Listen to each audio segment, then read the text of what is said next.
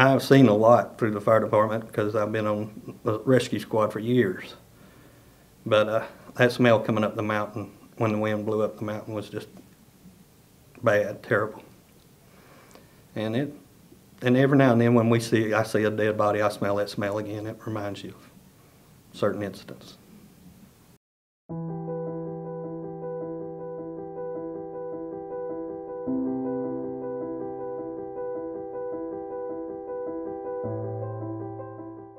On uh, December 11th, 1991, there were a whole bunch of um, high executives of the Bruno Incorporated Company who were on a Christmas tour of their facilities in and around the South.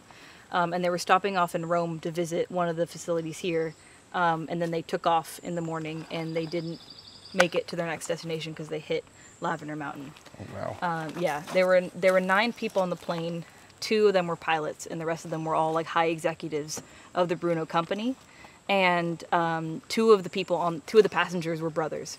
So um, it was kind of like, and they were the chairman and vice chairman. So it was kind of like a family-run company, and they both died in the plane crash. So Every single one of those people died? yeah, all they all died on impact. Oh, jeez. Yeah, there were no there was no way they could have survived. There have been other plane crashes on Berry's campus, but this is one that had the most casualties. So nine people. Nine it, people. and it seems like the and probably like the most like real world impact as well, considering Yeah. how they were all like executives and stuff. Yeah, they were all like high executives of like a family-run company. Like two of them were brothers, Yeah. and like the the son of Angelo had to take over his dad as chairman after he died in the mm. crash. So we're about to go see this. Yeah, Yeah. yeah. We're gonna go up and go see where they crashed, and hopefully there's some parts of the plane left we can look at and see. That's so cool. So I heard about the 1991 plane crash from my work supervisor at my old job. She told me that there was a plane crash and several people died, and I thought it was really interesting that, you know, at the two years I'd been at Berry at the time, I'd never heard anyone talk about this. So I, I was just intrigued by the idea that there was a plane crash, what, almost 30 years ago, but no one ever talked about it. So when I started working at Viking Fusion, I thought that a documentary about the plane crash that happened in 1991 would be really interesting. Students at Berry could learn about a part of their history that hasn't really been talked about. Because this plane crash happened on Berry's campus, that means that we can actually go to the location of the plane crash. So on September 23rd, a couple of members of the productions team, Jack, Wyatt, Eric, and I, uh, we went up hiking and to try and find the plane crash site. Please calm down and leave the adventuring to me. I'm the fun director, so like I, That's included in my job title as well. Uh-huh. I'm the only one allowed to have fun, to lead adventures, to do a number of things. It's just me. I was working for Floyd EMS that day. Uh, we happened to be on a call at Mount Berry Square Mall. Um, we just pulled up there and gotten out of the truck, and we actually heard the jet powering up, and it it was really screaming hard. And then all at once we heard big loud boom. We didn't see it, we could just hear it. Uh, at the time, I was a young firefighter, and we were, I was downstairs cleaning at number one station, and the deputy chief at the time come by me, and he always grabbed me to go on calls, and he said, uh, "Come go with me." And I said, I asked him, I said, uh, "Do I need my turnout gear?" He said, "Yeah, you might ought to bring it." We, we got notic- notification from the county police that the fire department had arrived on scene at the crash site. And so I was in my office, and the carrier people had the radio on in the office, and I heard uh, that this uh, a plane crash had occurred on Lavender Mountain. And then I find out as more time progresses that it's uh, rather serious. Uh, not that a plane crash wouldn't be necessarily, but uh, that all stops have been pulled out and uh, emergency personnel, law enforcement, fire department, they're all, they're all on the way. From what I understand from the way that uh, um, NTSB report was referred to us was that uh, they had made a sweep around by their store at the Bruno store in West Rome and headed on a northerly path. Uh, When they did that, altimeter was not reset, it was about 500 feet off, uh, which instead of putting them over the mountain, put them into the side of the mountain. And we feel like the, the scream from, that we heard from the motors was the pilot had realized probably that he was getting into the trees and into the mountain and probably powered up and pulled back, which causes a lot of yaw against the aircraft. That's what causes it, to- the engines and the wings to give a screaming noise, is the yaw rates on them. And, uh, that we feel like that's probably what happened. He realized at the last minute that, uh, that he was way too low, and before he could correct and get up, he was into the side of the mountain. Um, and you could tell that he was probably trying to do that because instead of the impact being down into the ground, the impact was up the mountain. Um, so he was, he was actively trying to correct his path. So the passengers and crew landed in Rome at 8:20 in the um, the Richard B. Russell Airport. So they landed here at 8:20, um, and then the passengers left that airport. I assume to go to the facility, check it out. They're supposed to come back at 9:15. They ended up coming back at 9:25, um, and then they didn't like take off until 9:37, which means that they were like 15 to like 20 minutes late. Um, and the report that I was looking at, um, some witnesses at the airport were saying that the passengers were concerned about being late and staying on schedule because they had like 11 facilities to visit in Huntsville, Alabama. So they were kind of like on Oh, a wow. tight, really tight schedule. So they were running a little bit late. Neither the pilot or the first officer mentioned preparing a checklist or doing a pre takeoff or departure briefing. Um, based on the report that I read, they kind of just got in the plane and then left. Um, and there was no indication that the passengers were like pressuring the pilot to go quickly because they were running late. But the pilot had been working for the company for many, many years, so it's probably he was aware of their schedule and was concerned about like keeping on track, and so he may have forgone the checklist to kind of just get going. But with the sound coming off those mountains, it was really difficult to pinpoint where it was coming from. Dispatch started getting calls. They called us, but they didn't know where to send anybody. Um, there was no pinpoint location, so we all had to start kind of roving around, looking to see if we could make a determination of where it actually was at. Out that area, the Berry Hill landfill is there, and I think when the employees saw smoke, reported it, they kind of confirmed it already been, they knew that a, a plane was missing. Uh, wasn't much longer, we started getting calls from people that actually saw it, um, saw the jet coming low, uh, and some people that had heard it, uh, from like the Texas Valley area and could actually tell where it was at. And, uh, then we started making egress into the plane. There weren't students around. I was free at the time, didn't have class or any other obligations. I'm like, I need to, I need to cover this. I run home, get my equipment, and as I'm going home, I'm listening to coverage on the radio of this, what's occurred. And I've learned that they have blocked off all access uh, from Mountain Campus up Lavender Mountain and that they restricted any access at all except for emergency personnel. So I'm thinking to myself, how will I get access short of hiking up from the bottom? And that's quite a. And I remembered that I could go to Fouché Gap Road up the backside of Lavender Mountain and hike in on a trail that's right there. Uh, that's what I did. We just knew that there had been an airplane crash up there. Uh, Richard B. Russell then told us that it had been a private jet that had left from there, that it could be that plane because they had lost contact with it and couldn't raise it. Um, then we were suspect as, yeah, it, it could be that plane. Um, when they dispatched us out, it turned out to be in such a remote area that uh, the first crews went in and hiked through the woods up the mountain that way to the site. We went in and went up to the top of the mountain and come down the mountain to the site. While we was en route, we could see smoke coming from the mountain, uh, and it wasn't a whole lot of smoke. Uh, so when we got to the base of the mountain, me and several firefighters started up the mountain, and uh, me and another one arrived at the original crash site first. The firemen actually walked up to the crash site, reported in as the plane crash, and then that's how we got involved. It was, uh, it was a hard journey getting there. It took us a little while to get on the scene. How are you? I'm doing fantastic. Good. Are you excited am- to hike? I am very excited to hike. I am prepared mentally, yet not physically, for this hike. Keep driving until you can't drive anymore. Or at least until you see I say when I can't drive anymore. I stay here in the road, keeps going, Yeah. like, knocks down trees. All right, so I'm gonna put on my hat backwards. gonna put on my my name tag. Come on, children, let's go. Let's go. You ready to have some adventures? We were on a little bit of a time crunch because the gates at the old mill closed at 6 p.m.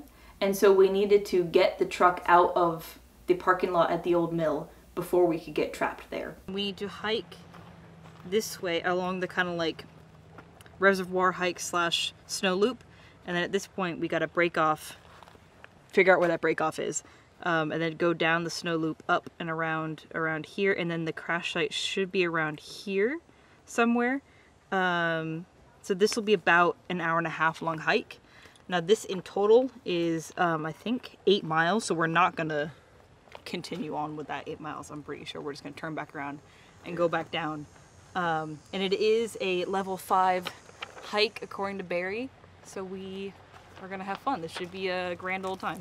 We are experts. The only issue is once we get up to the top where the crash light is, we gotta pay attention and try and find the little trail up to like where the clearing is, because it's not a real trail. Yeah. It's like we're walking into the woods. All right. so, You um, said there was like a little trail, right? like a, li- A little bit the of way it was described to me is like maybe just like s- sparse grass. I don't know. Um, so we'll figure it out.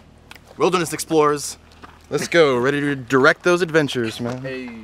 As I'm approaching the scene, I see shards of paper on the ground, and I'm I'm like, I must be approaching the scene now.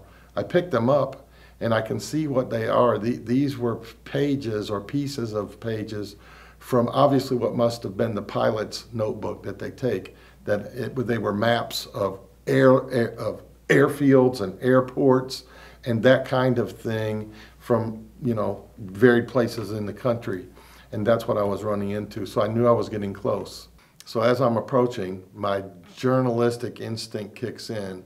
I've already heard on the radio that they're going, they, they're blocking access. They're not allowing anybody except emergency personnel in.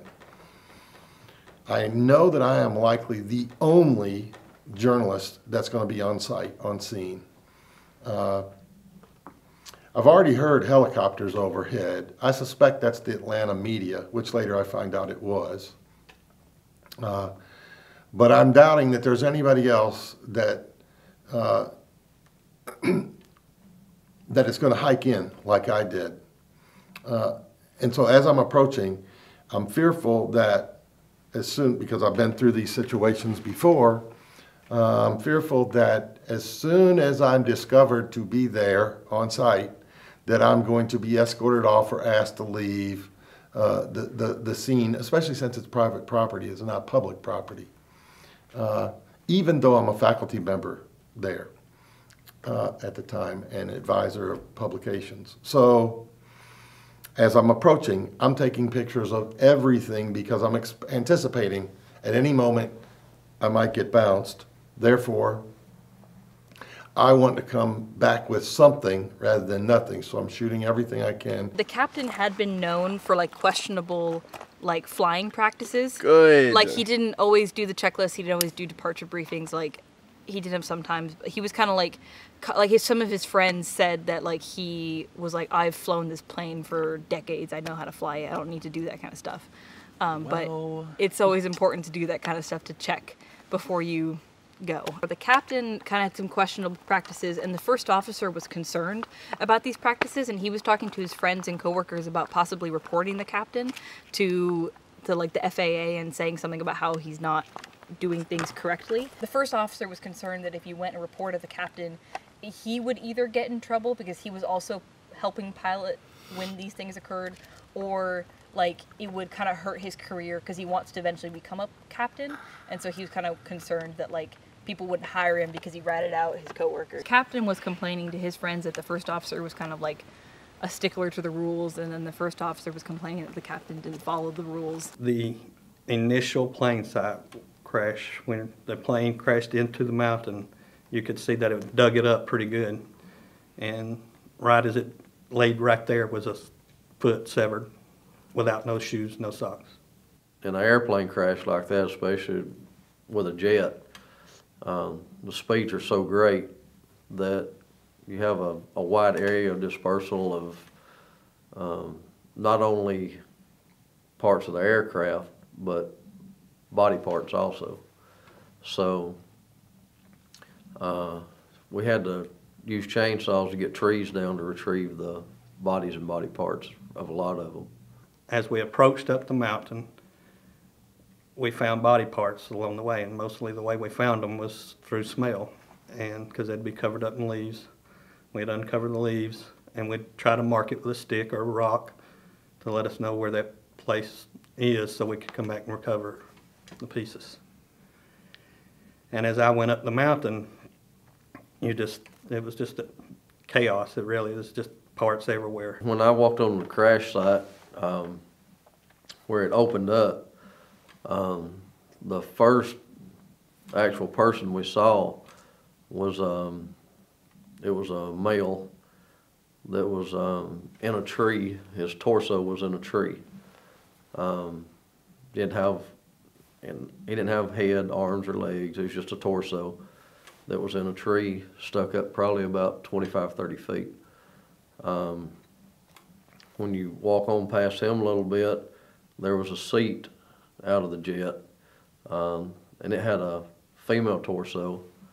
And the female torso, of course, no arms or no legs, uh, was there still belted into the seat of the jet. me being the young guy at the time was assigned to uh, the female was trapped in a tree so i was assigned to get her down the best way i could and every time i would cut the tree it would hang up on another tree and parts of her body would fall off onto me uh, that sticks in my mind very much and I would cut it and it would hang, and I'd cut it and it'd hang. And I finally got it where it was leaning enough where I could crawl up it and sit and getting her out of the tree. And then eventually I get to the scene. And at the top of the hill, leading down to the crash site, and I'm on the top of the ridge coming in on the trail from Fouché Gap. Uh, lo and behold, who is there but Bobby Abrams, our current chief of police, who at that time was, uh, I believe, a lieutenant or number two of the police force. And Bobby's there, and I just walk up nonchalantly with my camera over my shoulder, acting like I absolutely should be there. I'm just expected to be there. Uh, and I engage in conversation with Bobby. How's it going? This is terrible. And we talk a little bit. And then, and there are other uh, law enforcement officials and uh, emergency rescue personnel, et cetera, that are on site. As soon as they see me kind of engaged with a Berry police officer, they assume that I must, I'm supposed to be there. So then I go in back into my journalist mode, and I kind of, I'm still being cautious. I'm trying to take pictures as best I can, and I start edging my way down the hill uh, to where I can see smoke coming up from where the, the crash site is. Uh, some things that I saw I'd rather not even repeat. It's uh, very graphic and, and not pleasant to even remember, uh, and haunts me at times, to be quite honest. I think it's that way. So I think we just rounded this corner right here, and I think that's the like horse path off in that direction. So we need to head that way um, to go up to the mountain, and it should be getting steep soon. So All that'll be fun. I'm wearing my adventure shirt though, so everything's okay. I'm not I don't actually know if this is it or not. 100% sure. How long have we been? Beth Ann, uh, you're the tour guide. I'm Come sorry, on. I've never been here before. Because How far did we go? honestly, No, no, no. I think we're right here. And that that this gray line is that path. Cause see how that kind of like curves around up there. I think no, I think I, we're right here. No, because if you look.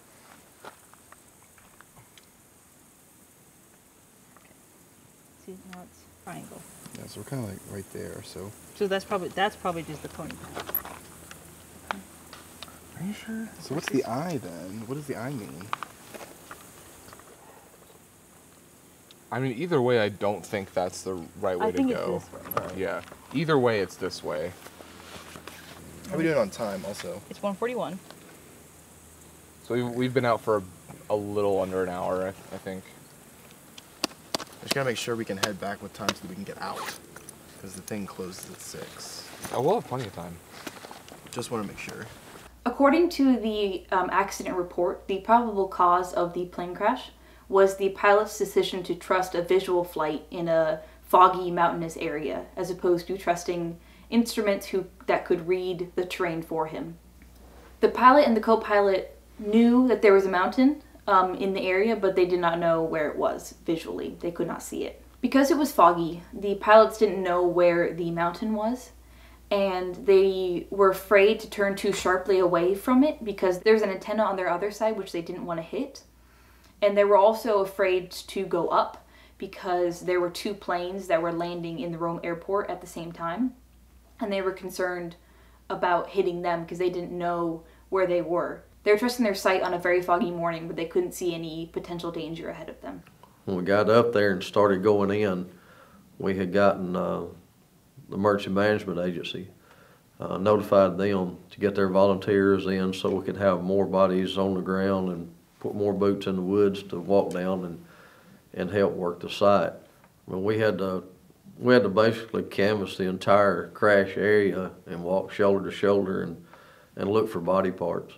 Um, which, you know, now I'm the coroner of Floyd County.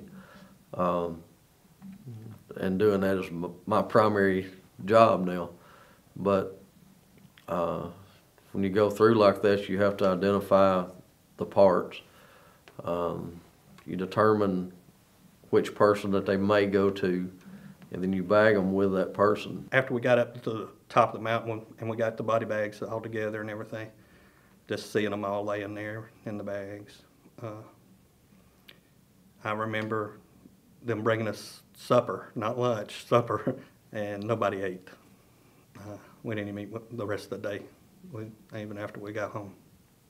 You're always hopeful that you'll find someone still alive, uh, somebody that you can work with. But uh, when we got on the scene, we realized that that was going to be an impossibility. Uh, we were just curiosity more than anything as to what we would see when we got up the mountain, uh, if anybody be alive or anything. Uh, and it was very hectic trying to get up the mountain.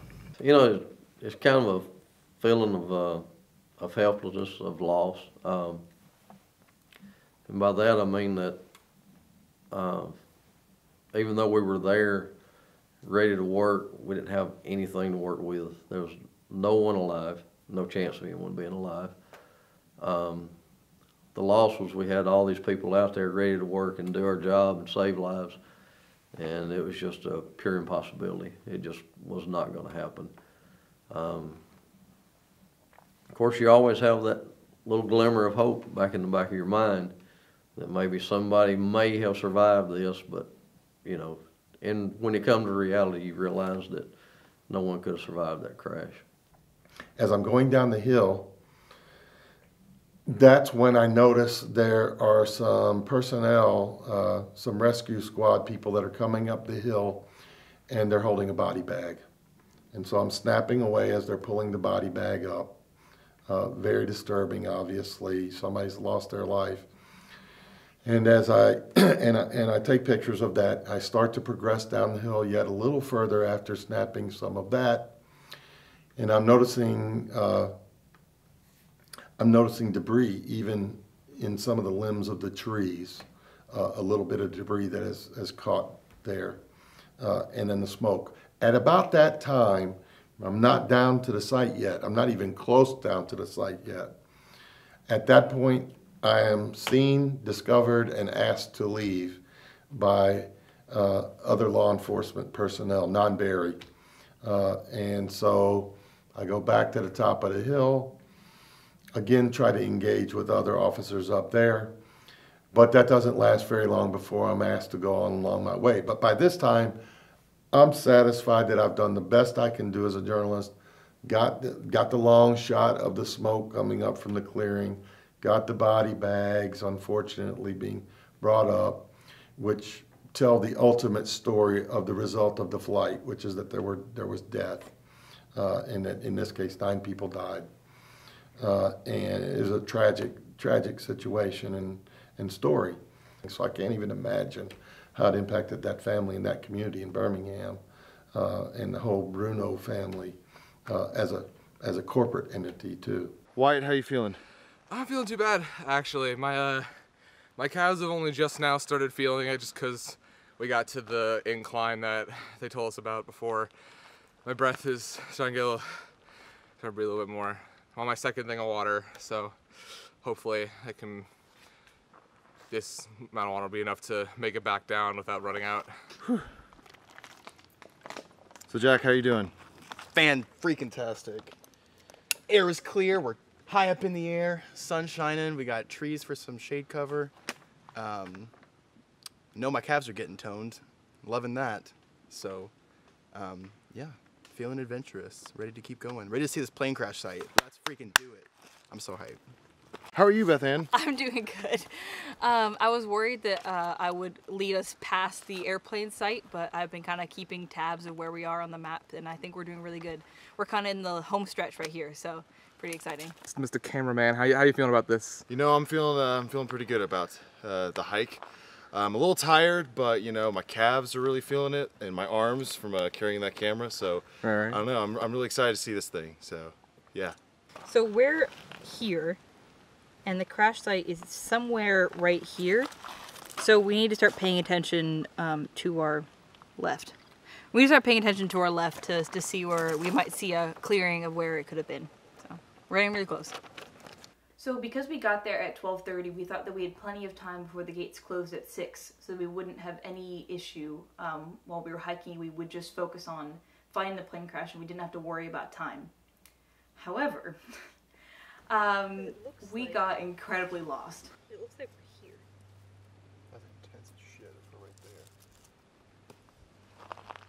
It can't be. Like, if, if, if we're here, then we're not seeing it.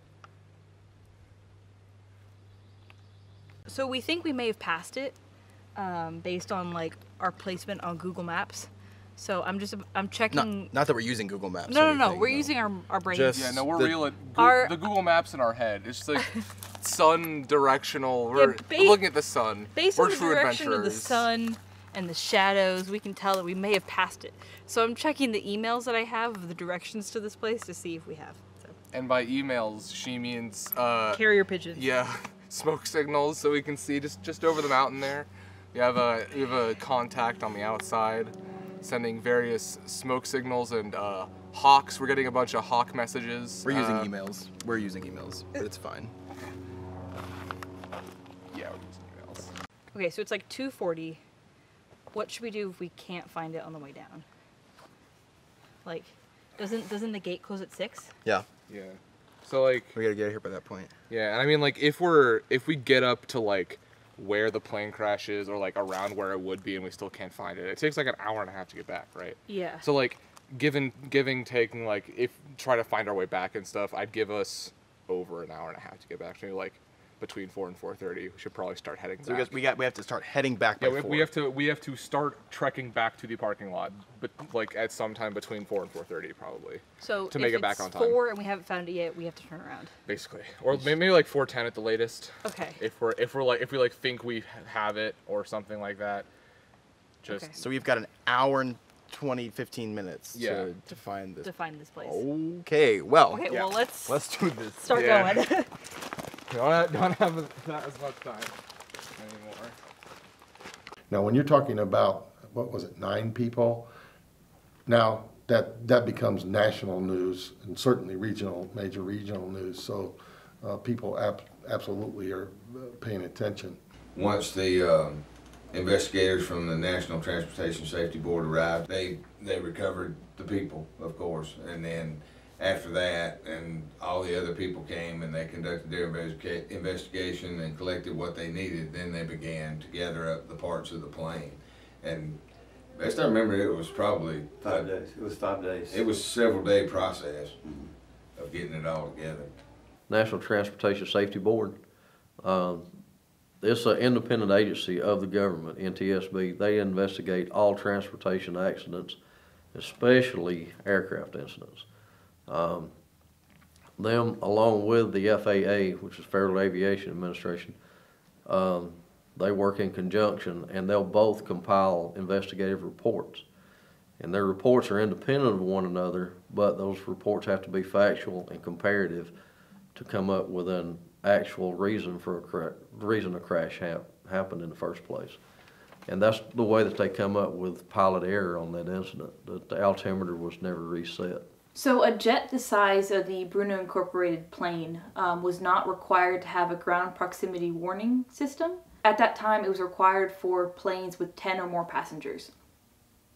Now, this warning system, if installed, would have warned the pilots 12 seconds before they hit the mountain that they were approaching uh, Lavender Mountain, which would have been enough time for the pilots to turn the plane around to avoid the crash.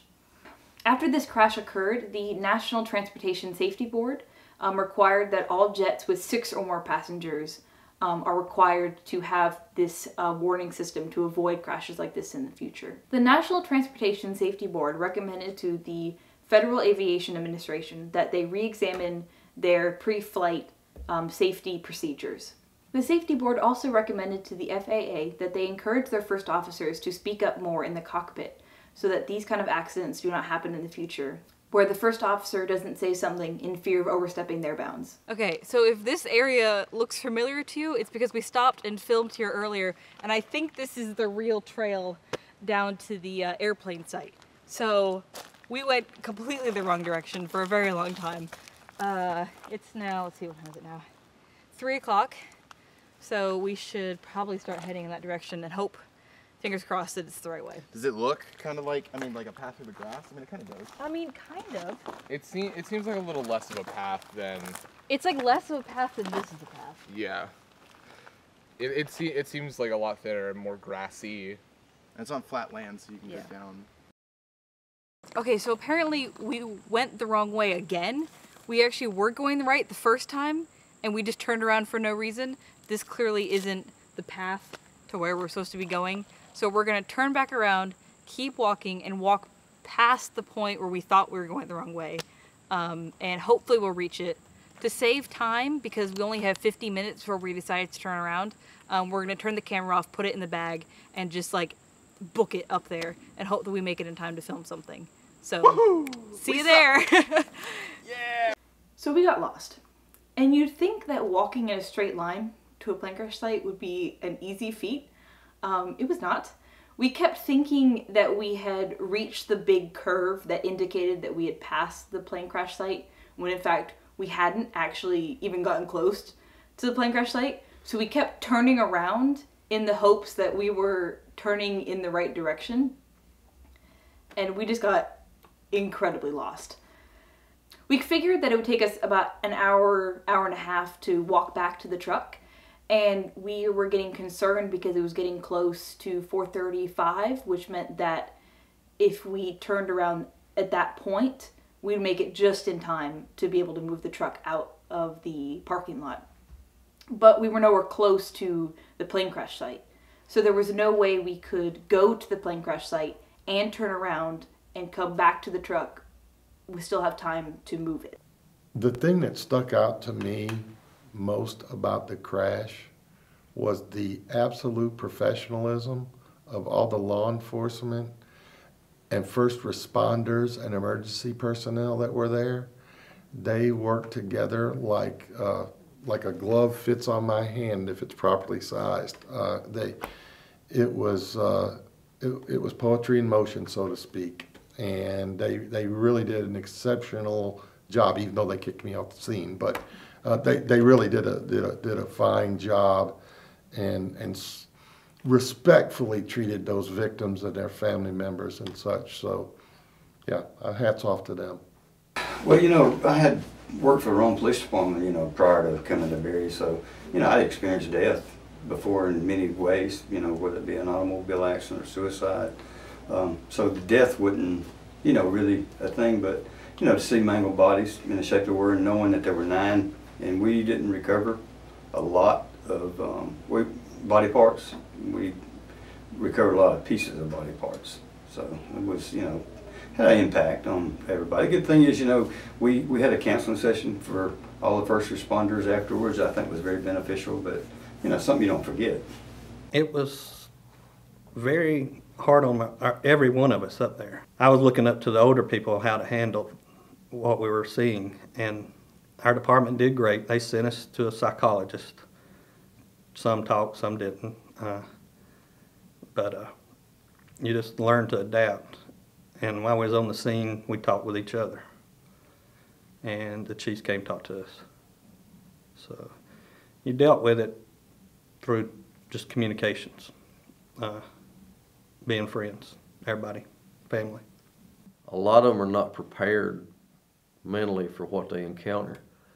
Uh, we had a lot of people that were working that site, the police, fire, EMS, and all, that um, shortly thereafter they rotated out and went into the private sector and got out of that type of work because it was uh, it was more than they could handle. We had a lot of people that physically were were sick because they, you know, of going out picking up body parts. They physically, some people just can't do that. You know, some people, like me, I can I can do it because I learned to build my defense mechanisms and and work with it and release it. I didn't have that experience of working for a police department dealing with that before that, but it was the second plane crash I've been around. And, you know, and I had seen death before, but it, it's never a good feeling. But it's, you know, if you, if you work in this job long enough, you learn to just kind of deal with it. And you, you, everybody deals with it in their own way. As a journalist, that journalist adrenaline kicks in. You're on the story, you're doing your job, but you're human at the same time. So you have these uh, these emotions that periodically are flooding you. You know, I know that in that body bag, that's somebody's dad, somebody's grandpa, somebody's brother, somebody's husband, or whatever the case may be. And so you can't help but think about that, even as you're in the midst of covering the story. However, you know, my, my work ethic and journalistic uh, principles and, and, and uh, kick in. And so I'm doing, I'm doing the job, I'm doing the work.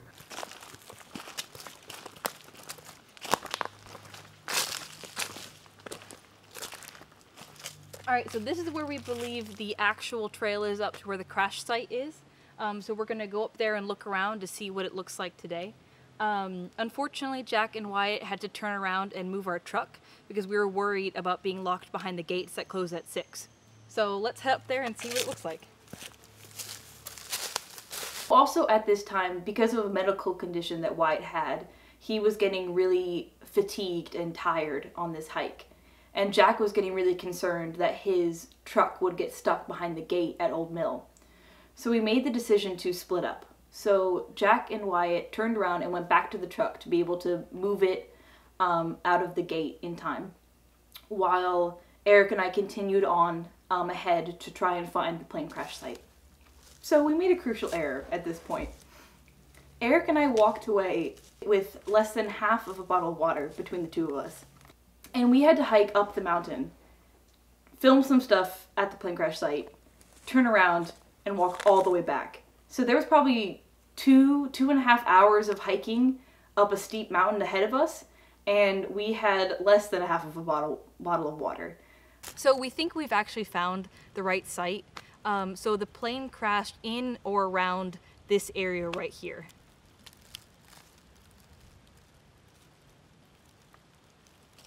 So if you'll forgive me, I want to read from my notes so I can get the times exactly right. The plane took off at 9.37. At 9.39 and 39 seconds, the captain advised the first officer, we're going to have to get away from that mountain pretty soon. At 9.40 and 35 seconds, the captain directed the first officer to slow her down a little. At 9.40 and 55 seconds, the cockpit voice recorder stopped recording. And at 9.41 and 21 seconds, an attempt to contact the plane was made by the Atlanta Center, but it failed.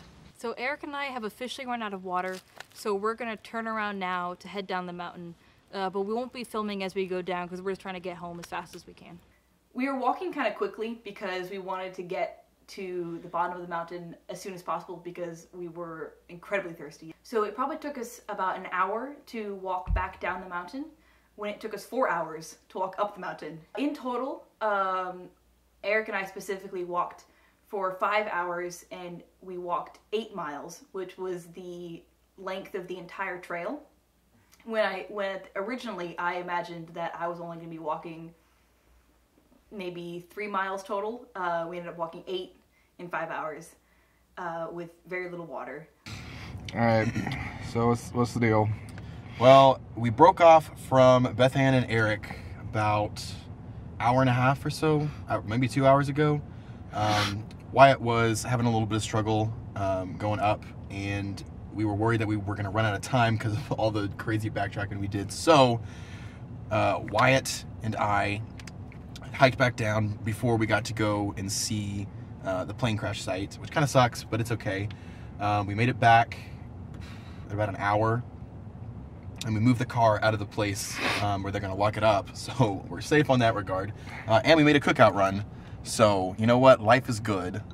Um, so we're waiting now for Beth Ann and Eric to come back down the mountain, hopefully with some uh, really awesome footage of the plane crash site, and we've got cookout waiting for them be- because we're good friends. So Should be back in about probably hour, hour, about an hour from now, maybe. I'd say probably about an hour. yeah, so, so like. So we're gonna be we're gonna be here for a while, hunker hunkering down.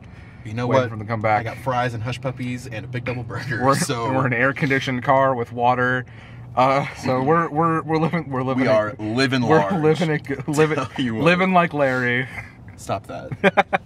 Turn off the camera. So on the hike down, all we were thinking about was uh, the water and the food that we were going to be eating, um, which is why there's no footage of Eric and I walking down the mountain because we were trying to get down as quickly as possible because we were incredibly tired and exhausted at the end of our journey. We didn't get this on footage, and I kind of wish we did. But but when Eric and I reached uh, Jack's truck, we jumped in and without saying a single word, uh, we grabbed the water bottles that were designated to us and we just drank the entire thing. Um, and you know, Jack and Wyatt were asking us about the, how the hike was, how was the plane crash site, and we did not say anything. We just kept drinking water because we were so thirsty. Um, I think all in all, it was a really good hike. It was um, it was really interesting to be able to go up to to see a location of such a tragic event. I wish that we were able to find um, some wreckage that was still there because I was told by a couple of people that I talked to um, that there were some parts of the plane that were still there. So maybe I'll go back again and, and look for the um, pieces of the plane crash. Um, if I do go again, I'll make sure I bring more water, and now I know where it is, so I won't get lost. Um, you know, it was, um, you know, there's sights and smells that you won't ever forget. Uh, it was a grotesque scene, so. It was nighttime when I saw it. I was involved in staying up there at night as part of the security detail over it. And um, so we didn't see as much as they did in the daytime. Obviously, the, you still have the, the smells and you know what went on and all that. And it's, it, you know, not something you ever want to see again. You know that when you get on the site that there's nothing you can do. Uh, there's not going to be any survivors. Uh, you're doing body recovery. Um, uh, the biggest thing that impacts you are the personal items that were there. There are a lot of personal effects off the jet from the people that were on it, you know, scattered about.